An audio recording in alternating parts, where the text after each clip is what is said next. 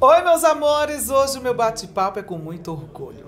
Eu sou fã dessa mulher, ela arrasa e o Brasil também ama. Começa agora, Lisa leve e solta. Ao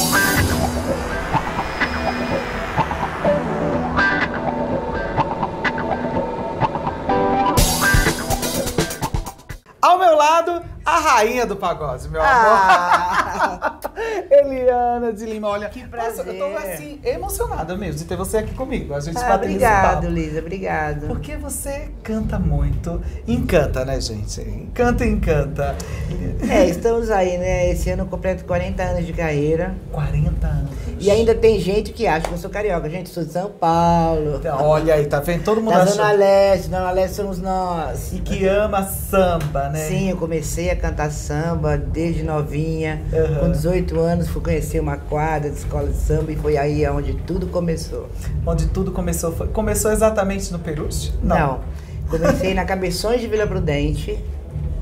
E depois de três meses fui para Príncipe Negro, defendendo samba enredo, samba ganhou na minha voz e eu puxei na avenida. E isso, e deu no que Isso deu. foi em 1981.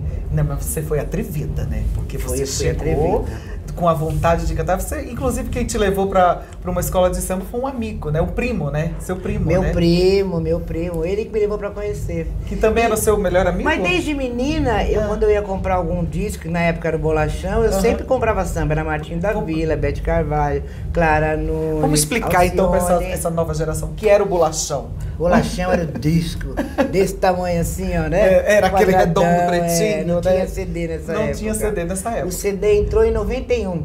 Logo depois que eu estourei com a música Desejo de Amar, conhecida como Sim. Dere- Dundererê, depois de alguns meses foi lançado o CD. Tá, e aí você tomou conta, né, da, do vocal nas escolas de samba, né?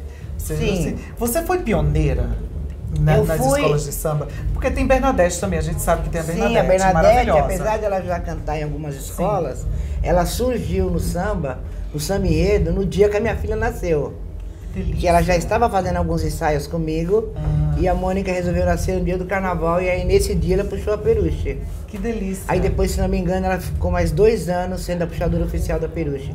Mas antes de mim, antes dela, tinha a cantora Silvia na Cabeções de Vila Prudente. Que ela E também- aí, quando eu comecei, ela parou, porque ela foi viajar para fora do, do país, cantar em navios e conheceu o grande amor da sua vida e mora fora do país até hoje. Que maravilha, né? Mas e, a, e tua relação com a Leandro também? Foi bem legal. É, fiquei alguns anos ali, né? Sete anos na Leandro, sete, oito anos, na Peruche também sete anos.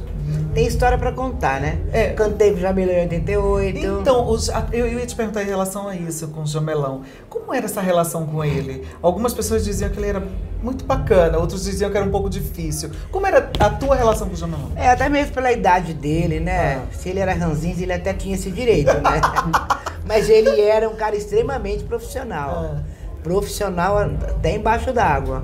E eu gostei muito de trabalhar com ele, porque nós chegamos a um acordo na tonalidade do samba enredo, não teve estrelismo, nem da parte dele, nem Sim. da minha parte. Vamos fazer o que é melhor para a escola. E então hoje- achei isso é. muito legal da parte dele. E hoje- eu tenho muito orgulho. Eu, eu sou a única mulher que cantou com o Jamelão. Única mulher que Levou cantou. E por que será que foi a única? Porque foi a única Porque que encantou tem- os olhos dele? Não, não, talvez não, é porque não há espaço ainda para muitas mulheres, né? Infelizmente, Isso dentro do samba. dentro do samba enredo. Do samba enredo, nas é, escolas, escolas de samba. Cantoras né? têm milhares né, de samba. Tá, mas isso ainda te tri- entristece? Sim, porque eu acho que a mulher tem condição normal como qualquer hom- homem. Sim. E eu ando, essa semana eu fiz algumas rádios e, eu e a gente comentou, né? Que na época que eu era puxador de samba, que era eu na, na Peruche, o Royce na Rosa, Portela na Mocidade Alegre, Tobias na Vai Vai, a gente começava a defender o samba enredo na avenida e era sozinha. É. Hoje é uma ala musical, onde o cara pode descansar, ele pode beber um copo d'água. Na minha época a gente não tinha como nem beber meio copo d'água. Sim, Que a verdade. gente era sozinho. E hoje existe uma ala musical que faz isso. É verdade. E se, se existe essa ala musical, por que não abrir um espaço para as mulheres? Sim. E aí uma Né? luta que também você vem há tanto tempo, né? É, eu levantei muitos Eu anos também. essa bandeira e toda entrevista eu falo, tem que ter mais mulheres puxando essa enredo, porque é bonito. Entendi. Agora, por que, é, por que você saiu da Leandro? Eu resolvi que eu não queria mais fazer carnaval. Não foi nenhum tipo de briga, nenhum tipo de risco. Não, teve uns aborrecimentos que eu acho que não, não vale a pena falar que já passaram tantos anos, né? É, mas eu decidi que eu não queria mais fazer. Se Porque decepcionou. graças a Deus, do carnaval eu, fiz minha- eu consegui fazer. Eu sou uma cantora, que eu sou uma vendedora de disco e eu fiz a minha carreira a nível Brasil. Então, graças a Deus, pouco ou muito, eu estou sempre trabalhando. Uhum. Tem as- teve as fases mais altas, depois tem as fases mais calmas, mas ainda hoje eu sobrevivo do meu trabalho. E aí, para você é, assinar um contrato, para você ir para uma escola de samba, onde você não vai poder estar nem o final de semana na quadra, aí é sacanagem também. Hum, entendi. Né? Entendi. Então tem que, tudo tem que compor, né? Então, tem que ser uma não vira. junção, né? Tem que, Isso. ser- tem que pensar em todo, em todo mundo. Exatamente, Né? Como um porque eu todo. acho que a comunidade, ela precisa do puxador de samba ali perto dela, É verdade. né? Porque a gente que incentiva eles a cantar o samba na avenida. Sim. Agora, Eliana, como é que você vê hoje o samba? Tá ficando de lado ou ainda continua em alta? Ah, eu acho que o samba é um estilo, como dizia Bete Carvalho, o samba agoniza, mas não morre. Ele está em evidência, mas ele poderia estar mais em evidência, como outros estilos, né? Mas o samba é a nossa música popular brasileira, tanto em alta, tanto em baixa, é tudo com a gente, não tem jeito. Hoje você falou que sobrevive da música. Sobrevive até hoje, sustenta a tua família, Sim. paga tuas contas com a música. Sim. Mas sempre foi assim ou não? Já passou por alguma dificuldade? Ah, eu acho que todo artista passa por dificuldade. Isso antes de você conquistar, depois você conquista, aí tem os auges, né? O auge, depois tem, por exemplo, estou alguns anos sem gravadora. Quer dizer, não existe mais gravadora, né? Mas, por exemplo, agora eu comecei a fazer um trabalho com o Laércio da Costa, com a música nova A Dona da Casa Sou Eu. E é difícil você encontrar pessoas no, no, no meio artístico, investidores, que queiram investir na carreira de cantoras. Entendi. Entendeu? É mais cantor solo ou mais grupos de samba. Você não vê investidores investindo nas carreiras. Principalmente nas veteranas. Entendeu? É isso. E de repente tô aí começando a fazer um trabalho com Laércio, a coisa tá caminhando e eu acho que vai virar legal. É, você, hoje, é, infelizmente, perdemos a Beth. É. Né? Beth, que era grande diva, inclusive, do samba. Né? Alguns estão deixando a gente. né? É verdade. E aí, existe uma preocupação com uma nova geração agora, para que o samba definitivamente não morra. Pessoas como, tão boas como quanto você, que chegou e Você tá revolucionou. falando que eu sou boa. Assim, eu não acho que o Brasil, o Brasil fala isso. Eu acho que É. o samba ele vai passando de pai, de, de vô pro filho, do filho pro É. neto, entendeu? É o estilo brasileiro, nunca vai morrer. É, não. O samba tem a sua essência, tem a sua verdade. Ele tá no sangue do brasileiro. O cara pode falar o ano inteiro, ah, eu gosto de sertanejo, mas quando chega no carnaval, meu bem, no Natal, ele põe o samba lá na casa dele e sai sambando. Essa é a verdade. Sempre Gostei. foi assim, mas não verda- é. É verdade. O cara fala, ah, eu gosto de MPB, ah, eu gosto de, de É. sertanejo. ah, Então existe gosto- uma hipocrisia. Mas quando chega aniversário, churrasco, Natal e festa, tá o samba lá e sai dançando, não tem jeito. É verdade. Eliane, você inclusive encarou alguns desafios na televisão, né? Que era É. além do peso. Além do peso. Conseguiu manter o peso? Ah, consegui até hoje, graças a Deus. É, quando você, porque foi um reality. Você entraria numa fazenda, por exemplo? Ah, não sei. Cachê tem que ser bom, né, amiga? Primeira coisa a gente tem que ser bom, né? Eu acho que a fazenda é uma coisa que você fica muito exposta. Ah. E você tem que pensar muito no que você fala. Mas quando chega lá dentro, as pessoas passam a não pensar naquilo que fala e extrapolam e vira uma baderna na vida da pessoa. É. Eu acho que é muita exposição, né? Você Mas não não sei. É. Olha, se eu entrei no Além do Peso, É. que é muito mais exposto ainda, Sim, verdade. Porque ele está lidando com o seu corpo, com a sua verdade. A vaidade feminina. Não é né? verdade? A vaidade. Se bem que quando você entra num programa desse, você deixa a vaidade de lado. Porque ali tem certos exercícios que você tem que fazer e que às vezes você não consegue. Você se sente envergonhado, humilhado. Mas com o passar do tempo você consegue fazer. Mas você se se incomodava com o seu peso? Se incomoda Não. com o peso? Antes de entrar além do peso, Ou antes ou depois? ah, me incomodava sim. É. Eu sempre fui cheinha, mas eu cheguei é, num peso de quase 120 quilos. Aí eu fiz a bariátrica. Aí fui para 86 quilos. Fez a bariátrica bariátrica. Há 15 anos. E aí, quando Além do Peso me convidou, eu estava com 93. Falei, não, já engordei. Olha quanto que eu já engordei. Sim. Né? 7 quilos, não, é 7 quilos. Sim. Eu falei, não, eu vou entrar. E meu marido falou, pensa bem. Não vai desistir. Falei, ah, se eu não conseguir, eu peço pra sair. Não é verdade? mas, mas não é? Não tá aguentando, pede pra O sair. contrato, não é- o contrato não era obrigatório você. Ah, tá. Se você não permanecer, você não ganhava o seu cachê por mês. Entendi. Esse é o problema. Entendi. Aí você já pensou nas contas, né? Lógico, meu bem, você acha que eu desisti? Imagina, eu queria o cachê inteiro. A gente é brasileiro, bem, tem que matar o leão por dia, não tem É verdade. Mas foi uma experiência maravilhosa. Foi incrível. Se tivesse que ir de novo, eu iria. Olha aí, tá vendo? Enfrentar um iria. né? Porque eu fiz coisas que eu jamais pensei em fazer. É. Tipo, Porque na realidade a gente não sabe a força que a gente tem. Andar naquele cordão, como é que chama? Naquele fio. É... sei, sei. Aquela- Todas aquelas coisas, todas. Oi? Tirolesa? É, que você tinha que andar. Sei.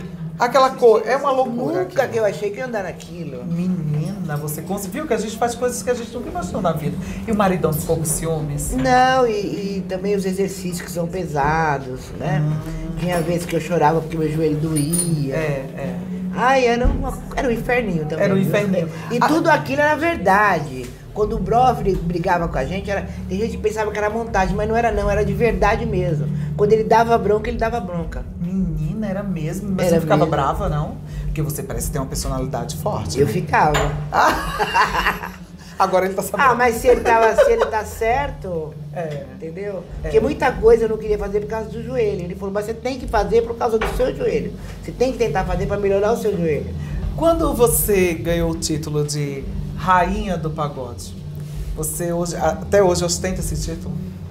Olha, não por, por eu ser muito humilde, mas eu não me acho rainha de nada.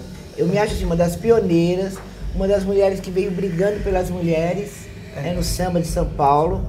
Eu acho que eu fiz a minha parte. Aí me deram esse título, foi a Gleice Xavier na época, na Band FM que me deram esse título. Agradeço muito. E ficou, né? Ficou o título, Rainha O que, é que falta hoje nas mulheres? Bom, na área do, do carnaval, eu De acho tudo, que, ah, eu acho no que no, no carnaval ainda falta coragem. Porque tem muitas mulheres que cantam bem, mas tem medo de enfrentar uma escola de samba. Porque também é assim, nega. É. Eles querem ir logo na escola de samba que é.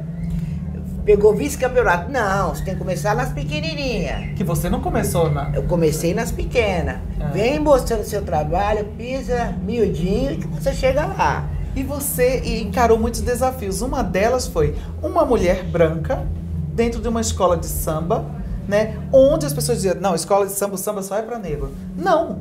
Não.